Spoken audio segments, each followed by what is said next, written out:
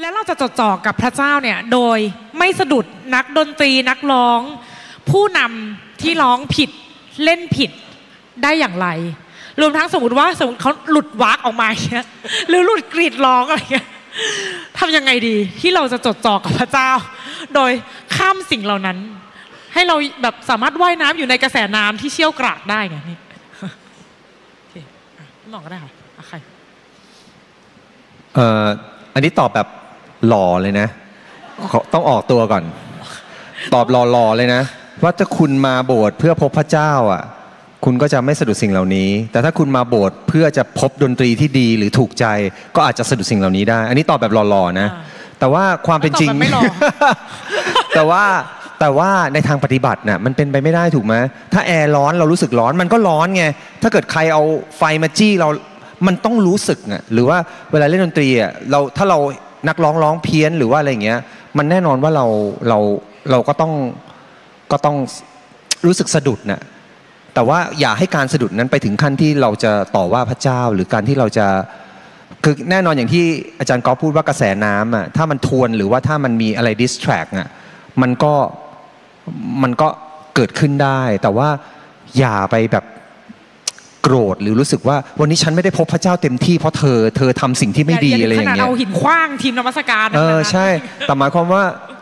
มันก็มีบางอาทิตย์ที่เราไม่ได้นมัสการพระเจ้าเต็มที่ เพราะว่าสิ่งเหล่านี้ หรือไม่ได้นมัสการพระเจ้าเต็มที่ เพราะเราเป็นคนฉายพรีเซนเตอร์ เราไม่อาจหลับตาอธิษฐานได้ เพราะว่าเราต้องรอผู้นำว่าเขาจะจะเปลี่ยนสไลด์ไหมคือมันมีหน้าที่หลายอย่างที่ หรือว่า อันนี้ผมพูดในบริบทกว้างกว่านั้นเลยนะว่า มันมีหลายอย่างที่ทำให้เราไม่สามารถที่จะนมัสการพระเจ้าได้เต็มที่ อย่างพี่หม่องอย่างเงี้ยพี่หม่องพอขึ้นมานำอะแน่นอนว่าเขาก็ต้องมีหลายอย่างที่เขาต้องดูแลเขาเขาก็ต้องกังวล เช่น มอนิเตอร์เรื่องของอะไรแบบเนี้ยแต่ผมอยากให้ ภาษาอังกฤษเขาบอกว่าแบบ don't be too hard to yourself คือหมายความว่าอย่ากดดันตัวเองมากว่า วันนี้ฉันจะต้องนมัสการพระเจ้าได้ร้อยเปอร์เซ็นต์วันนี้ทุกอย่างจะต้อง perfect ทุกอย่างจะต้องดี บางทีมันมีอะไรผิดพลาดบ้าง หรือมันมีอะไรที่เราต้องถูก interrupt บ้าง ไม่เป็นไร ยกตัวอย่าง เมื่อกี้มีพ่อแม่มาพาลูกมาฟังแล้วเด็กร้องไห้ แล้วเขารีบอุ้มเด็กออกไปอะใจผมอยากจะบอกเลยนะ ไม่ต้องออกหรอกถ้าเด็กไม่อยากออกนะ เราเราไปต่อกันได้ ถ้ามันไม่ดิสแทรกคนอื่นอะไรเงี้ยคือที่ผมพูดให้ฟังคือหมายความว่าในในการที่เราเคลื่อนไปด้วยกัน อันเนี้ยบางทีมันมีมันมีอะไรอวัยวะบางอย่างที่มันมันไม่ไม่โอเค แต่เราเราเราจะทำยังไงดีอะที่จะช่วยกัน ไปต่อให้มันออกมาเป็นภาพที่พระเจ้าพอพระทัยเมื่อมองจากข้างบนลงมามากกว่าอะไรเงี้ยครับเอออีฟชอบประเด็นนี้คือว่ามันมันกลับไปที่เรื่องของความรักตอนแรกแล้วมันคือแบบมันไม่ใช่แค่มองว่าโหยการนมัสการคือแบบเรากับพระเจ้าเราต้องได้ร้อยเปอร์เซ็นต์แบบคือมันคือความรักที่เรามีท่ามกลางพี่น้องและชุมชนที่ต้องใช่ต้องมองข้ามสิ่งบกพร่องหรือว่าปัญหาหรืออะไรใด ๆ ที่มันจะใช่กิดเพราะว่าขึ้นด้วยเอ่อการนมัสการมันคือการบริการด้วยในส่วนหนึ่งมันเป็นการบริการอืมคือการแบบ service ชื่อมันบอกอยู่แล้วว่ามัน service เออค่ะ ดีค่ะเอ่อใครคะคุณป้อมปัญญาไหมคะหมุนไมาได้ครับอแล้วก็สั้นๆก็คือฝึกฝนมั้งครับ ก็เหมือนกับงานรับใช้ทุกแบบที่เราอาจจะไม่ได้พบกับความสมบูรณ์แบบเสมอไป ไม่ว่าจะเกิดจากตัวเราหรือเกิดจากคนอื่นอะไรเงี้ยก็คือเราก็ต้องฝึกฝนที่จะจดจ่อที่พระเจ้า แล้วก็คำแนะนำอย่างหนึ่งที่ คิดว่าน่าจะเป็นประโยชน์ก็คือว่าอย่าสร้างวงเท่านั้นเอง เช่นสมมุติพอเราจบรอบน้ำสการนั้น แล้วแบบมีผู้นำคนหนึ่งแบบว่าร้องเพี้ยนมากเงี้ยถ้าเราเริ่มจับกลุ่มแล้วคุยเรื่องนี้เรื่องนี้มันจะอยู่ในใจเรา แล้วมันจะเป็นแบบเมล็ดของความชั่วร้าย แบบต่อไปหมายถึงว่า เขาก็ทำหน้าที่ของเขาในการรับใช้พระเจ้า ซึ่งเราก็ไม่รู้ด้วยซ้ำว่าพระเจ้ามองสิ่งที่เขาทำยังไง ส่วนเราเป็นผู้นมัสการสิ่งที่เราจดจ่อคือพระเจ้า ไม่ใช่สิ่งที่เขาทำแบบอะไรเงี้ยเพราะฉะนั้นก็ฝึกฝนครับ ฝึกฝนด้วยกันผมก็ฝึกฝนหลายๆคนก็ฝึกฝน ฝึกฝนไว้ด้วยกันครับโอเคอะจะเสริมไหมขอนิดนึงขอนิดนึงเออนึกได้ละคือเวลามีปัญหาเกิดขึ้นน่ะมันมีคนมากมายใช่ไหมที่ ลุมประนามที่พร้อมที่จะเบลม แต่ว่าเราต้องเป็นเขาเรียกว่าอะไรภาษาอังกฤษเขาเรียกเคียว เราต้องไม่ใช่แค่เป็นคนบ่นแต่เราต้องเป็นคนรักษา เราต้องเป็นยา ยกตัวอย่างอย่างที่โบสถ์ผมอะก็คือมีถ้ามีนักร้องที่ร้องเพี้ยนน่ะเราก็จะจับอบรมอะไรอย่างเงี้ยหรือว่าการพูดตรงๆอะผมเป็นคนพูดตรงมากในที่ทำงานนี่คือตรงจัดเลย คืออะไรไม่ดีผมก็ดีบรีฟแบบ ตรงไปตรงมาเลย แล้วก็มันก็นำไปสู่ อาจจะนำไปสู่ความโกรธในตอนแรก แต่มันไปสู่นำไปสู่การที่เขาพัฒนาได้ และอย่างที่ป้อมว่าคือเราเราอย่าการจับวงนี่มันเป็นการสเปรดคือเป็นการผมยกตัวอย่างเรื่องหนึ่งอันนี้ไม่ได้ชมตัวเอง แต่ผมพูดให้ฟัง ผมเคยนั่งนมัสการอยู่แถวหน้าของคิจักแห่งหนึ่ง ซึ่งเล่นดนตรีได้แบบไม่ค่อยดี แล้วก็ร้องได้เพี้ยน ผมก็ยืนอยู่ด้วยความอดทนนะด้วยความอดทนนมัสการจนจบออกมา แล้วหลังจากนั้นหลายอาทิตย์น่ะ ก็มีคนมาเล่าให้ผมฟังบอกพี่รู้ไหมว่ามีคนบอกว่าพี่เป็นแบบอย่างที่ดีมาก เพราะว่าพี่สามารถอดทนฟังเขาได้จนจบโดยไม่แสดงคือลองคิดดูนะ ถ้าวันนั้นผมเกิดแบบเกาหัวขึ้นมาหรือคันหัวอะไรอย่างเงี้ยแล้วผมแบบคนสะดุดทันทีอะมันเป็นการ spread hate เนี่ยคือหมายความว่าเป็นการกระจายความดูถูกการเยาะเย้ยอะสิ่งเหล่านี้ท่าทีเล็กๆน้อยๆอะยกตัวอย่างเช่น ผู้นำผิดปุ๊บอะมือกีตาร์ อย่างเงี้ยมันมันสเปรดอะไรอยู่อะคุณกำลังแสดงท่าทีอะไรใช่ไหมมันซึ่งมันเกิดขึ้นจริงนะหรือเอาตามองบนอย่างเอออะไรเงี้ยคือมันนิดเดียวอะนิดเดียว นอกเรื่องนะ ถึงแม้ว่าคุณน่ะจะไม่รู้สึกนมัสการพระเจ้า แต่อย่างน้อยอย่าทำอะไรที่มันขัดแย้งหรือขัดขวางคนอื่นในการนมัสการพระเจ้า อย่าอย่าเป็นซุงมาขวางเรือที่กำลังไปทำตัวแบบเฉยๆไว้อะไรอย่างเงี้ยครับอืมเหมือนที่ผมเฉยๆตอนยืนแถวหน้าแล้วคนไม่สะดุดเนี่ยดีค่ะ ดีค่ะเป็นแบบอย่างที่ดีค่ะก็คือสำหรับผมนะครับ ต้องมองไปที่พระเจ้าเนี่ยมากกว่ามองมนุษย์ หรือว่ามองที่ความเก่งของมนุษย์ หรือว่ามองไปที่ดนตรีที่ไพเราะคือถ้าเราสามารถที่จะจดจ่อแล้วก็มองไปที่พระเจ้าได้ โดยที่ไม่ให้ไปไม่ไปให้ความสำคัญกับความไพเราะของดนตรีมากเนี่ยเราก็จะนมัสการพระเจ้าได้ครับ แต่ผมกำลังจะบอกว่ามันยากสำหรับคนบางคน ยกตัวอย่างเนี่ยมันยากสำหรับพี่เหวินเนี่ยแน่นอนเนาะเหมือนยืนอยู่ข้างหน้าอย่างนั้นนะผมรู้ดีเลยว่าความรู้สึกอย่างนั้นเป็นยังไง เพราะว่าเมื่อก่อนผมเป็นอย่างนั้น คือผมฟังเพลงเยอะ ผมชอบเพลงที่มีคุณภาพ มีความไพเราะร้องถูกต้องร้องเพราะเล่นเพราะมันทำให้เราเข้าถึงพระเจ้าได้ง่ายครับ ใช่ไหมครับ แต่ว่าวันหนึ่งที่เราต้องมานมัสการในโบสถ์ที่ทุกอย่างเล่นผิดร้องผิดร้องเพี้ยนหมดเลยเนี่ย ผมเคยนมัสการพระเจ้าไม่ได้เลย แล้วผมอึดอัดใจมาก คือผมไม่สามารถแม้กระทั่งที่จะร้องเพลงนั้นออกมาได้เลย เพราะผมรู้สึกว่า ไอเสียงที่มันผิดพลาดความไม่เพราะของมันมันรบกวนจิตใจผมมากเลย แต่วันหนึ่งพระเจ้าก็สอนผมว่าตกลงเนี่ยเจ้านมัสการอะไรอยู่ เจ้านมัสการเราหรือว่าเจ้านมัสการดนตรีนมัสการ แล้วก็พระเจ้าก็พูดกับผมชัดว่าให้นมัสการพระองค์นะครับ แต่ผมก็เลยจะบอกพี่น้องอีกด้านหนึ่งครับว่า เราอยากกินอาหารอร่อยหรือไม่อร่อยครับ แม้กระทั่งร่างกายเรายังอยากจะกินอาหารจานอร่อย เพราะว่าเมื่อเรากินแล้วเนี่ยเรามีความสุข ถ้าเราหิวมากเลย แต่ว่ามันมีอาหารที่ไม่อร่อยอยู่ตรงหน้า กินไหมครับ กินแต่มีความสุขไหมไม่มีความสุขเลย แต่ก็อิ่มเหมือนกันนะมันควรอิ่มอย่างมีความสุขไหมครับ เพราะฉะนั้นนักดนตรีทีมนมัสการ เราต้องเสิร์ฟอาหารจานอร่อยฝ่ายวิญญาณให้พี่น้องครับ นั่นคือการเล่นดนตรีที่ไพเราะ ถูกต้องคอร์ดถูก จังหวะถูกร้องตรงโน้ตไม่ผิด มันก็จะทำให้ทุกคนนมัสการพระเจ้าอย่างมีความสุข ต่อให้มีนักดนตรีขั้นเทพมาอยู่เขาก็จะนมัสการพระเจ้าอย่างมีความสุข เพราะว่ามันไม่มีเสียงอะไรที่ไม่ถูกต้องไปรบกวนจิตใจของเขา อเคค่ะก็ในภาพของสมาชิกก็พยายามมองไปที่พระเจ้าเนาะพยายามมองที่พระเจ้าแล้วก็อย่างที่พี่เหวินพูดตอนแรกนะคะเป็นประเด็นที่ดีมากคือว่าสุดท้ายมันคือความรักที่อยู่ท่ามกลางเรา แล้วก็ให้เรามองเรียกว่าอะข้าม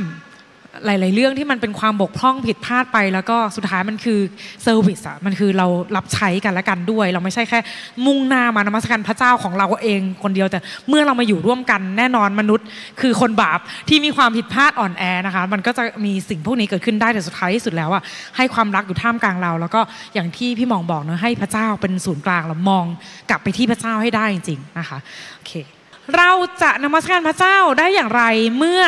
ร้องเพลงนมัสการนั้น ๆ ไม่ได้ อืมอะพี่มองไหมคะ คือถ้าตัวผมนะครับ ถ้าบทเพลงนั้นน่ะ แต่ต้องสัมผัสใจ ดนตรีไพเราะบทเพลงไพเราะเนื้อหาทำให้เราเข้าใกล้พระเจ้าได้อย่างลึกซึ้งเนี่ย ถึงแม้ผมร้องไม่ได้นะครับ เพราะมันเป็นเพลงใหม่ใช่ไหมครับ แต่เมื่อหูผมได้ยินบทเพลงนมัสการที่แตะต้องใจ ตาผมมองดูเนื้อหา แค่นั้นผมก็นมัสการพระเจ้าได้แบบมีความสุขแล้วครับ เพราะว่าบทเพลงมันเข้าถึงจิตใจ หรือแม้บางครั้งเนี่ยนะครับ ผมไม่จำเป็นต้องร้องเพลงครับ ผมแค่หลับตาแล้วผมฟังเพลงที่มันแต่ต้องสัมผัสใจมา ผมก็นมัสการพระเจ้าอยู่ข้างในแล้ว โดยที่ผมหลับตาตลอดแล้วปากผมไม่ได้ร้องเพลงอะไรเลย แต่จิตวิญญาณของผมมาร้องเพลงแล้ว เพราะว่าในบางโมเมนต์นะครับ เราไม่อยากร้องเพลงครับ ถูกไหมครับ เราเคยรู้สึกอยู่ในที่ประชุมแล้วเราไม่อยากร้องเพลงไหมครับ แต่โอ้โหเรายืนฟังเพลง เราน้ำตาไหลพรากเลย ผมเป็นอย่างนั้นบ่อยนะครับ คือให้บทเพลงมันมันมันเข้ามาในจิตใจของเราครับ ก็คือสำหรับหมองคือ ถ้าร้องไม่ได้ก็ฟังดูก่อน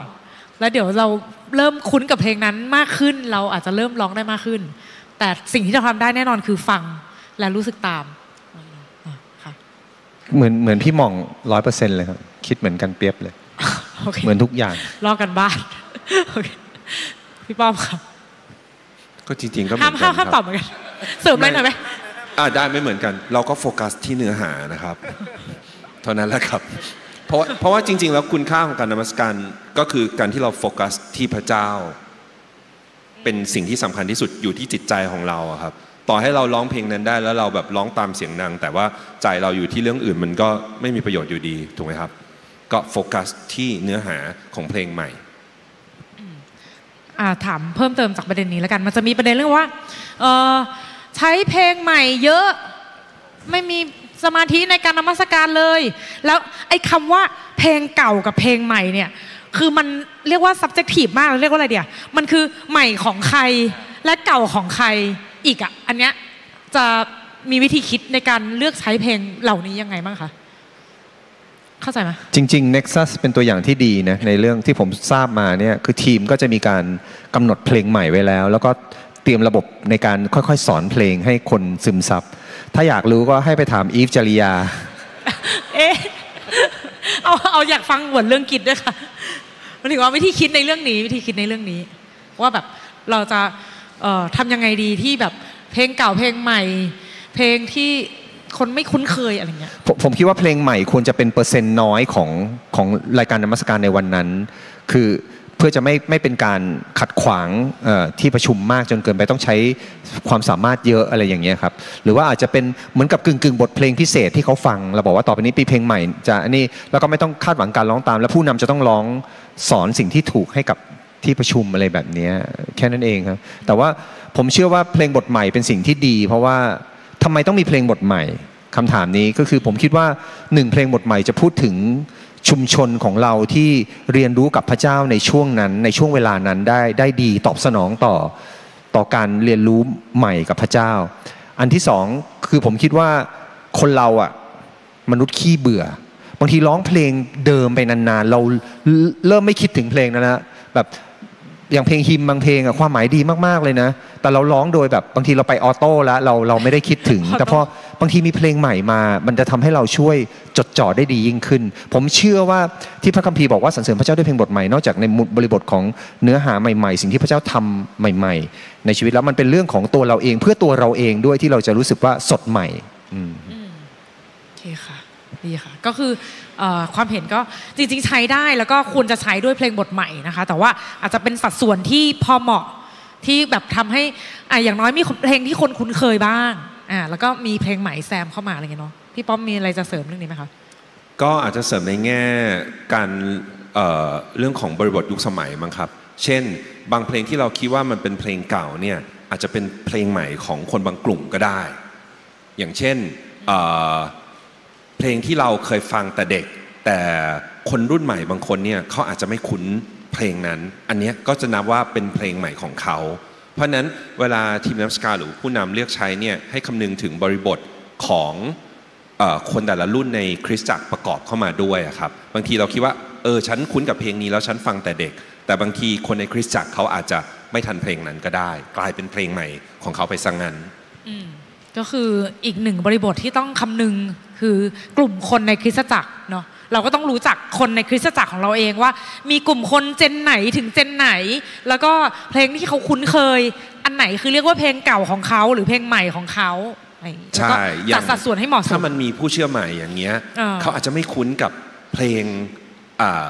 บางกลุ่มก็ได้ที่ถูกร้องในคริสเตียนมานานแล้วอะไรอย่างนี้โอเค ดีค่ะอ่าไปประเด็นต่อไปเลยนะคะขอตอบเาๆพี่พี่หม่องค่ะ โอเคครับ สิ่งแรกคือพระวจนะของพระเจ้าเนี่ยบอกว่า จงร้องเพลงบทใหม่ถวายพระเจ้า แล้วมีพูดเยอะมากเลยในสดุดี เพราะฉะนั้นพระเจ้าต้องการให้เราครับสรรเสริญพระเจ้าด้วยเพลงบทใหม่นะฮะเพราะฉะนั้นการมีเพลงบทใหม่เป็นเรื่องถูกต้องในคริสตจักร แต่เราต้องยอมรับความจริงอย่างหนึ่งว่า พี่น้องเนี่ยจะนมัสการพระเจ้าเนี่ยได้แบบเต็มที่เมื่อเขาสามารถร้องเพลงนมัสการได้ แต่ว่าถ้าสมมุติวันอาทิตย์ผู้นำเกิด เอาเพลงใหม่เข้ามาทีเดียวเลยสามเพลงแบบนี้ครับ โดยที่พี่น้องไม่ได้รู้จักเลยเนี่ยเขาก็จะนมัสการพระเจ้าได้ไม่เต็มที่ เพราะเขายังร้องไม่ได้ เพราะฉะนั้นตาเขายังต้องมองเนื้อหูเขาต้องฟังทำนองเพลงใช่ไหมครับดังนั้นถ้าข้อแนะนำของผมคือว่า